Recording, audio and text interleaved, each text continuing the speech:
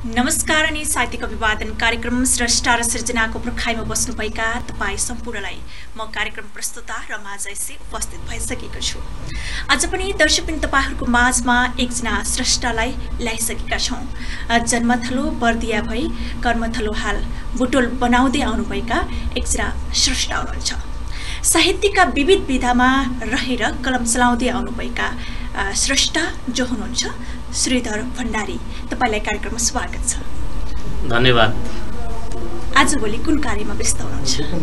म आजभोलि साहित्य लेखनमा विशेष गरी कविता विधा र विशेष गरी आजभोलि पछिल्लो चरणमा समसामयिक गजलहरू पनि लेख्दैछु र कथा र नाटक त्यसै गरी निबन्ध विधामा अलिकति पछि पछि दौडिरहेको छ। म चाहिँ सुरुवाती चरणमा लागेँ तपाईँको बाल्यकाल चाहिँ बर्दियामा नै बित्यो। बर्दियामा हुर्कनी बढ्ने क्रममा साहित्य सृजना पनि त्यहीँबाट सुरुवात गरियो। बर्दियामा रहँदा तपाईँको जुन साहित्यिक यात्रालाई पछाडि फर्केर हेर्दा कस्तो रह्यो? बर्दियामा जुन दिपक आचार्य जलनजीहरूले जब साहित्यको माहौल ल्याउनुभयो त्यसपछि एकदमै उर्वर भयो। त्यसै क्रममा नेपालगञ्जका साहित्यकार गजलकार खगेन्द्र गिरी कोपिलासँग मेरो भेट भयो र दस बाह्र वर्ष नेपालगञ्जमा मैले साहित्यिक जीवन बिताएँ भन्नुपर्छ। कहिलेदेखि सुरु गर्नुभयो? मैले यो एसएलसी दिइसकेपछि जब त्यो खाली समय हुन्छ कसैले कम्प्युटर सिकेर व्यस्त रहे म चाहिँ साहित्य लेखनमा व्यस्त भएँ। जुन तपाईँले एसएलसी दिए पश्चात चाहिँ आफ्नो कलम चाहिँ साहित्य सृजना र साहित्यको उर्वर भूमिमा चाहिँ चलाउनु भयो तपाईँको पहिलो सृजना चाहिँ केबाट सुरु गर्नुभयो? मैले पहिलो कविता चाहिँ बुद्ध र शान्ति शीर्षकमा मैले पहिलो कविता सुरुवात गरेँ। र केही अंशहरू तपाईँलाई याद छ? अहिले धेरै वर्ष भइसक्यो मैले त्यसको चाहिँ अटस्थ गरेको छैन। तर पनि त्यति बेला जुन समयमा जुन नेपालमा अलिकति समस्या थियो त्यही भएर मैले बुद्ध आऊ शान्ति आऊ भनेर सुरुवात गरेको थिएँ। तपाईँको एउटा सृजना सुन्छौँ। तपाईँले मिठा कविताहरू लेख्नुहुन्छ। तपाईँको एउटा कविताबाट कार्यक्रमको आरम्भ गरौँ। हजुर म कविता सुरु गर्न चाहन्छु। सर्वप्रथम म कविता चाहिँ आमाबाटै सुरु गर्न चाहन्छु। यो संसारको सृष्टि गराउने यो संसारको सृष्टि गराउने जगत हँसाउने आकाशमा जुन बनेर धरतीमा जननी बनेर र पानीमा जल बनेर कति पवित्र छ तिम्रो स्निग्ध प्रेम कति कोमल छ तिम्रो आत्मा कति स्नेह छ तिम्रो ममता आमा तिमीलाई कोटी कोटी प्रणाम। आमा तिमीलाई कोटी कोटी प्रणाम। भुल्न खोजे पनि भुल्न सक्दिनँ म अँध्यारो कालो बादलको डिल हटाएर पूर्णिमाको जुन झैँ उज्यालो तिम्रो मुस्कान कयौँ झरी खेपेर वर्षायामको थोत्रो मोटर चाहिँ घ्यार घ्यार घ्याच्च रोक्दै उक्लँदै अडेको तिम्रो जीवन। आमा तिमीलाई कोटी प्रणाम। चमचम गर्ने आकाशका तारा झैँ तिम्रो मुटुको धड्कन कुन संसारले नाप्न सक्छ तिम्रो मायाको गहिराई।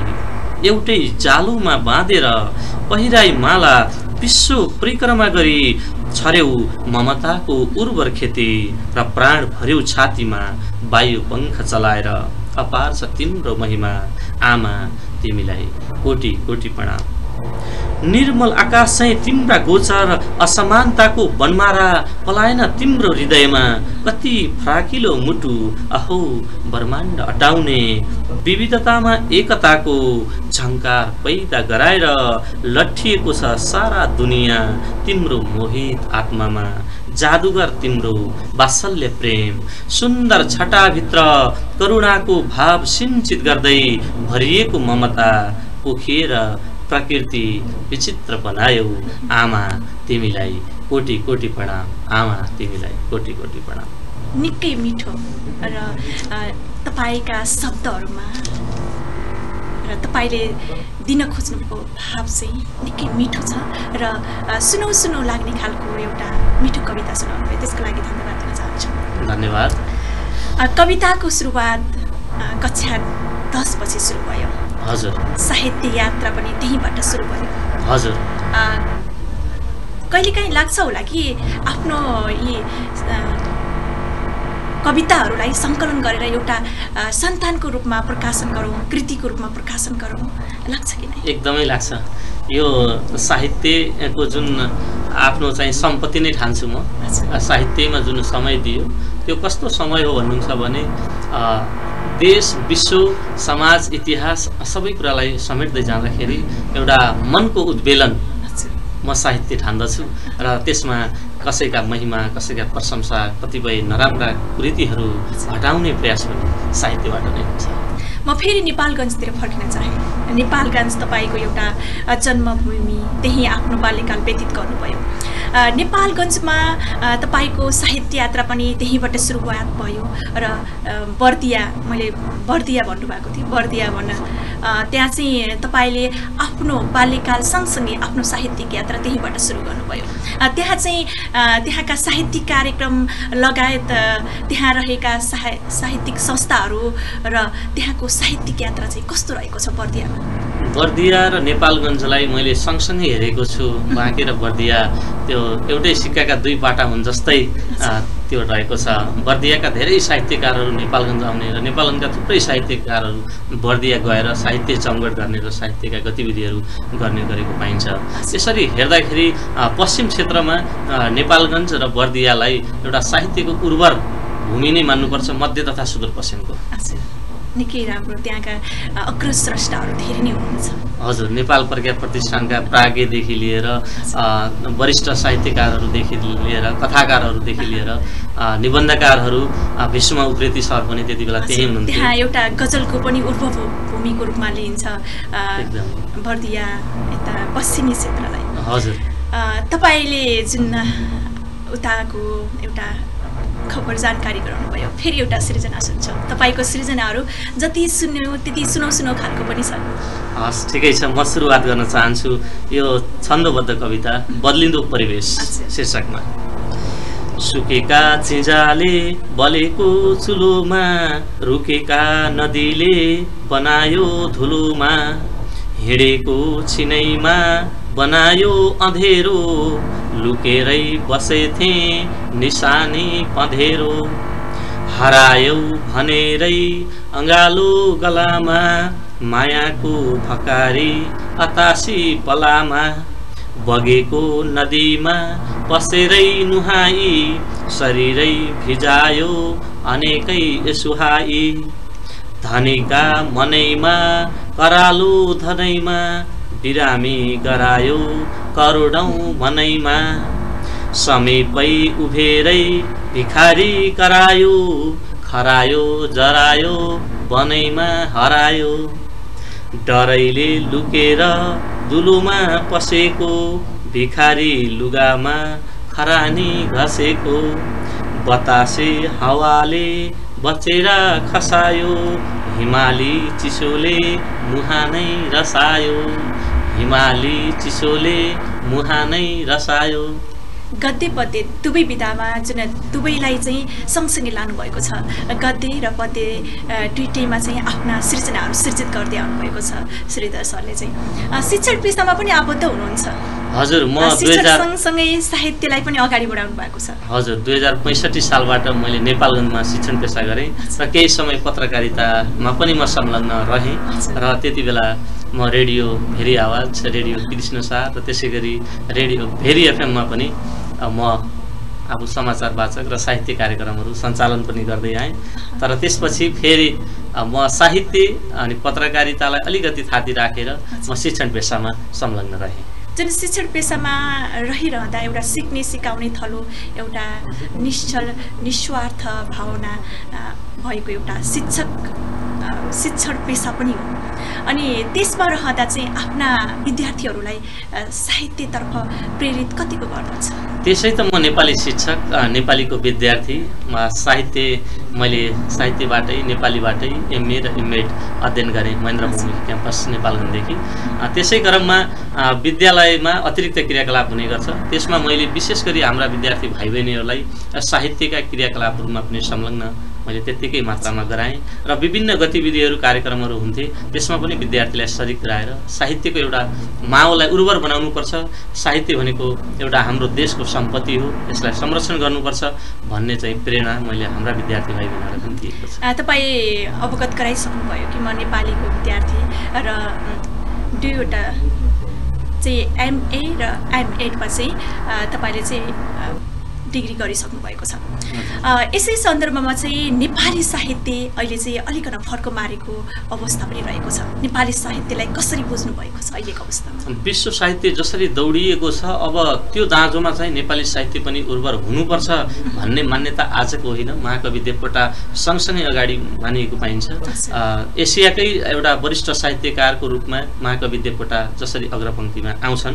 त्यसै गरी नेपाली साहित्यले पछिल्लो चरणमा चाहिँ अ, समसामयिकतालाई र विश्व परिवेशलाई पनि दाँजेर कविता लेखिएको हामीले थुप्रै उदाहरणहरू पाइन्छ। त्यसैले नेपाली साहित्य अहिले यति बेला उर्वर छ। तपाईँको सृजना सुन्छु फेरि। हस् म अर्को कविता सुनाउन चाहन्छु। यो गद्यमा रहेको छ। कविताको शीर्षक छ वास्तविक जीवन। ऊ हराएको छ यही पृथ्वीमा अदृश्य सडकहरूमा भौतिक चक्षुका नारी नानीहरू गोरेटोदेखि अन्तरिक्षसम्म उसका पाइला पछ्याउँदै यन्त्रहरू दौडिरहेछन्। दृष्टान्त बिनाका मगज जीवाणु खोजको घोडदौडमा यान्त्रिक मानवको दोसल्ला ओढेर श्रीखण्डमा सर्प बेर्दैछन् हिउँमा कारखाना खोल्दैछन् र खानामा औषधि मुद्दैछन्। जन्मनुको तत्त्व बिर्सेर सुवास खोज्दै हिँडेको कस्तुरीसँग सैना लाउँदैमा ऐना देखिने भए मिज्यूको अनुहार न्युरोसँग घुत्लिने मिज्यूको अनुहार धुम्म परेको बादल र खरी झरेको मादलमा के उर्वशीको गाजल देखिन्छ र भौतिक शैलका भोगीहरूलाई पृथ्वीका गिद्धे जोगीहरू भन्नुमा कुनै तुक छैन। हिउँको सिरकले जाडो थेग्ने भए सगरमाथा आइसल्यान्ड पुसको डस्ना हुन्थेन र कौडीका लागि पौडीको बाद सोमा हराएको टुकीको लाज के जन्मनुको सारत्व जीवन त्यही हो। चङ्गा र लट्टाइको सम्बन्ध म वास्तविक जीवनमा भेट्दछु। शङ्ख र ध्वनिमा शब्द र अर्थ खोज्दछु। हिलोमा कमल फुलेको छ। परिभाषित नयनमा वाक्य हेर्दछु। प्लेटो रुसो गान्धी र बुद्धका बाणी प्रत्येक मानवका नाडीमा जीवनको साडी बेर्ने हो भने त्यहाँ म संसारको टाढी भेट्दछु। त्यहाँ संसारको निकै मिठा कविताहरू रहेका छन् तपाईँका। जुन यस्ता मिठा कविताहरू चाहिँ कति बेला फुल्ने गर्छन्? विशेष गरी मलाई सबभन्दा यो कविताको सिर्जनाको समय भनेको वर्षायामको समय जब झमझम झरी पर्छ। मेरो जन्म पनि साउनमै भएको हो झमझम झरीमै। मलाई त्यो साउन भदौको चाहिँ झरी अत्यन्त मनपर्छ र जति बेला त्यो सिधै आकाशबाट झरेको पानी छम झमाउँछ र खेतमा भ्यागुताका ट्यार ट्यार आवाज आयो भने मलाई पनि भित्री आत्मादेखि चाहिँ कविता लेख लेख भनेर आत्माले भनिरहेको हुन्छ। त्यसो त सबै हुँदैन होइन विशेषतः अधिक मात्रामा चाहिँ त्यति बेला पुर्छ भन्ने मात्र हो। अन्य चाहिँ समसामयिकता परिवेश सबै कुरालाई समेट्दै चाहिँ फुरिरहन्छन् अ, समसामयिक विषयवस्तुमा रहेर तपाईँका सृजनाहरू चाहिँ बेला बेलामा फुरिरहेछन् हजुर। यो विशेष गरी झरीको बेलामा चाहिँ मलाई दिउँसै पनि सिर्जना हुन्छ। अन्य बेलामा चाहिँ प्रायः जसो म राति एकान्तमा। बाह्रदेखि चार बजेको बिचमा प्रायः जसो सिर्जना गर्छु। अ, सृजना चाहिँ त्यति बेला चाहिँ छरपष्ट रूपमा आउने गर्दछन्। हजुर। भन्नुपर्छ। तपाईँ बुटोल आउनुभयो बुटोलको साहित्यिक माहौलमा भिज्दै हुनुहुन्छ। यताको साहित्यिक कार्यक्रमहरूमा कतिको जमघट हुनुहुन्छ दाजुभोलि यताको कार्यक्रममा म एक दुईवटा कार्यक्रममा फाटोफुट्टो मात्रै जमघट हुने मौका पाएको छु। पढाइको सिलसिलामा अलिकति पढाउने क्रममा चाहिँ अलि त्यति व्यस्त भएको हुँदाखेरि साहित्यमा अलिकति कम भएको छु।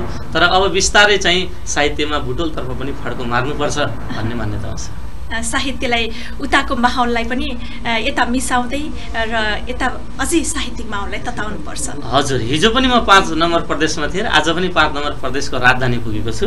र जे होस् आफ्नै थलो आफ्नै प्रदेशमा चाहिँ साहित्यले फड्को मार्नुपर्छ भन्ने चाहिँ मान्यता छ।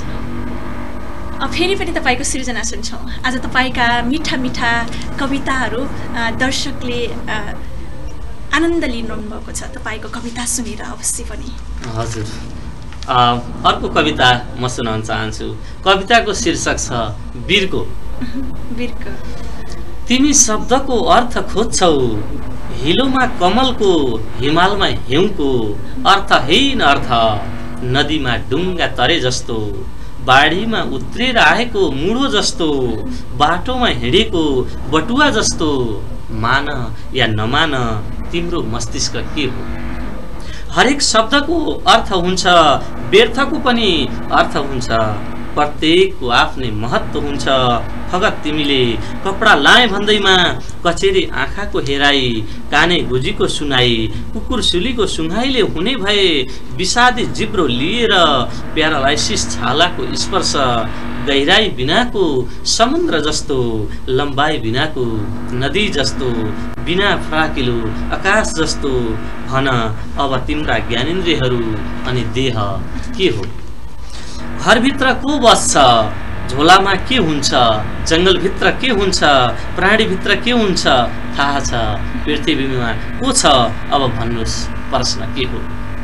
केरा खानुभन्दा अघि रक्सी खानुभन्दा अघि ठेकीबाट घिउ निकाल्नु अघि किताब पल्टाउनु अघि भन कलमले लेख्नु अघि के खोल्छौ? खोलिन्छ राखिन्छ समय पुगेपछि फेरि खोलिन्छ। चाहे वस्तु चाहे प्राणी चाहे मान्छे हो तिम्रो जन्म पनि त्यसरी नै भएको म ठान्दछु। राम्ररी सोच एकपटक सायद त्यो नभएको भए तिम्रो जन्म पृथ्वीमा हुँदो पनि त रहेनछ। त्यसो भए निस्कने मुहान के रहेछ? आफ्नो स्वार्थ पुरा गर्न कोही फाल्छौँ कोही राख्छौँ फाल्न हुने र फाल्न नहुने त्यसका प्रकार छन्। वन अगाडिको जी फालेपछि के अस्तित्व आयो र जन्म नै नसक्ने नकोली खानै नसक्ने त्यो बिना संसारमा रहनै नसक्ने जवाफ एउटै छ तपाईँ हामी पनि मेरो कविताको शीर्षक तपाईँ हामी पनि मेरो कविताको शीर्षक। जुन एउटा वीरको शीर्षकमा लेख्नु भएको छ र त्यो शीर्षकको एकदमै मिठो र जुन भाव व्यक्त गर्नुभएको छ कि त्यो वीरकोलाई चाहिँ महत्त्वपूर्ण वस्तुको रूपमा। वीरकोलाई मैले विश्व ब्रह्माण्डमा टेकेर वीरको मानेको छु। यो एउटा विश्व ब्रह्माण्ड पनि बाहिरी आवरण वीरको नै हामी जसरी जन्मिने यो पृथ्वीमा हामी वास्तवमा वीरकोबाटै निस्क्यौँ भन्ने चाहिँ मेरो सार हो। भनेपछि वीरको महत्त्व वास्तवमा हामी त्यत्तिकै सामान्यतया वीरको भनेर त्यसलाई हेला गर्छौँ। वास्तवमा वीरको कति महत्त्व रहेछ त? त्यसको महत्त्वमाथि प्रशंसा गरेका छौँ। हजुर निकै मिठो जुन नेपाली साहित्य र नेपाली भूमिलाई उर्वर बनाउनको लागि यस्तै कविको खाँचो छ। जुन साहित्य एउटा समाजको दर्पण पनि हो। साहित्य समाजलाई छर्लङ्ग रूपमा देखाएको हुन्छ। नेपाली साहित्यलाई कसरी विश्लेषण गर्नुहुन्छ तपाईँले? नेपाली साहित्य वास्तवमा यथार्थ रूपमा प्रस्तुत हुनुपर्छ भन्ने मलाई लाग्छ। विशेषतः पहिले पहिले कविताहरू कल्पनामा लेखिन्थे। हो तर यथार्थमाथिको कल्पनामा लेख्नुपर्छ कविता। मेरो मान्यता चाहिँ त्यो हो। यथार्थमाथिको कल्पना। अर्थात् समाज यथार्थ छ जस्तो छ त्यस्तै हुनुपर्छ तर शब्द मात्र कल्पना गर्ने हो। हामी यथार्थ घटनालाई चाहिँ छोड्नु हुँदैन भन्ने जस्तो लाग्छ मलाई साहित्य। तर साहित्यले हाम्रो देश मात्रै होइन विश्व परिवर्तन गर्छ गराउँदै आएको छ र गराउनु पनि पर्छ भन्ने मान्यता हुन्छ। विचारमा तपाईँले मिठो आफ्नो विचार व्यक्त गर्नुभयो। हजुर। तपाईँको कविताहरूमा चाहिँ एउटा यथार्थता पनि छन् काल्पनिकता पनि छन् सम्मिश्र भाव व्यक्त गरिएको छ तपाईँको कवितामा। जुन सानो विषयवस्तुलाई पनि बृहत तरिकाले चाहिँ विश्लेषण गर्न सक्ने खुबी भएको कविको रूपमा मैले तपाईँलाई चिने। साहित्यमा चाहिँ भाव हुनुपर्छ भन्ने मलाई लाग्छ। त्यो भाव चाहिँ शब्दले बोकेको हुनुपर्छ भन्ने म मान्यतामा छु। त्यसैले शब्द चाहिँ जति सक्दो फराकिलो बनाउन सकियो भने तब त्यहाँ साहित्य जन्मिएको चाहिँ सार लाग्छ। एउटा सृजना सुन्छौँ। अलि छोटोमा हामी कार्यक्रमको अन्त्य अन्त्यमा आइसकेका छौँ। हजुर। यो चाहिँ मैले झ्याउरे लयमा कविता। कामना अर्थात् हामी बिन्ती गर्छौँ कामना गर्छौँ। सृष्टिले दुई पाखुरा हात नासिका बनाए मस्तिष्क आँखा दुईटा कर्ण बनाई जनाए। मानिस भनी मेधावी पराण जमिन बसाए। यो सारा धरती सम्पूर्ण हक दिएर हँसाए। उज्यालो होला अँधेरो मट्टी भनेर पठाका। आखिर गर्ने कर्तव्य बिर्सी बनाए पटाका। संसार पनि निदुला सबै मुखमा हालेर विजेता बने हिँडौला यहाँ कुकर्म चालेर। नगर्नु पाप विश्वासमाथि अडेको संसार। गरेर सेवा कमाउ धर्म शान्तिका मनसार। सबैको साझा जगत माता हाँसेर बोल्ने छिन्। सुदिन पर्खी उजेलो हेर्न नैन खोल्ने छिन्। सुदिन पर्खी उजेलो हेर्न नैन खोल्ने छिन्। झ्याउरे छन्दको यो कविता वाचन गर्नुभयो। श्रीधरजी हामी चाहिँ कार्यक्रमको अन्त्य अन्त्यमा आइसकेका छौँ। कार्यक्रमको अन्त्यमा टेलिभिजन हेरेर बस्नुहुने समस्त साहित्यिक मनलाई के भन्न चाहनुहुन्छ? म यो बुद्ध सामुदायिक टेलिभिजन चाहिँ हेरेर बस्नुभएका सम्पूर्ण दर्शक वृन्दहरूलाई म के भन्न चाहन्छु भने साहित्य एउटा समाजको ऐना हो साहित्य एउटा हाम्रो देशको साझा सम्पत्ति पनि हो साहित्यलाई सबैले संरक्षण गर्नुपर्छ। साहित्यमा अहिलेका नानी बाबुहरूलाई चाहिँ कम्तीमा पनि हामीले आधा घन्टा दिनमा समय दिन सक्यौँ भने वास्तवमा उहाँहरू भनेको भोलि देशका चाहिँ चालक मान्दछु म। त्यसैले देश परिवर्तनका लागि अहिलेदेखि नै हामी हाम्रो बालबालिकामा साहित्यको एउटा धारणा चाहिँ बसाल्नुपर्छ भन्ने मलाई लाग्छ। आफ्नो व्यस्त समयको बावजुद पनि हामीलाई समय उपलब्ध गराइदिनु भएकोमा साहित्यकार श्रीधर भण्डारीज्यूलाई विशेष आभारका शब्दहरू प्रकट गर्न चाहन्छौँ। त्यसै गरी यतिन्जेलसम्म टेलिभिजन हेरेर साथ दिनुभयो। त्यसको लागि तपाईँ सम्पूर्णलाई विशेष आभारका शब्दहरू प्रकट गर्दै म तपाईँकै सुख दुःखको साथी रमा जयसी पनि बिदा हुन चाहन्छु। हवस् त नमस्कार तपाईँको दिन शुभ रहोस्